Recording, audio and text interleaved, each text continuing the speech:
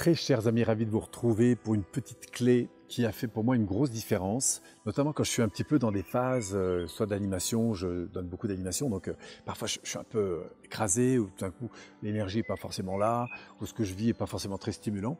Alors j'ai un truc, moi, c'est de remonter, vous voyez, le centimètre ici, d'inspirer par le nez, de sourire et de dire merci.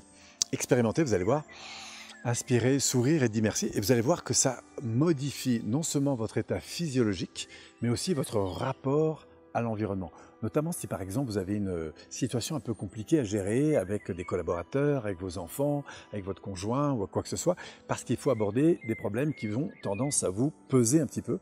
Eh bien, prenez une seconde, inspirez, relevez le centimètre, souriez, et puis vous allez voir très vite, en fait, votre état physiologique se transforme et par conséquent la relation que vous avez avec votre environnement. Et pendant ce temps-là, je profite aussi de celui-ci. On se retrouve très très vite. Prenez soin de vous, prenez soin de vos proches et surtout, on en parle bientôt. À bientôt.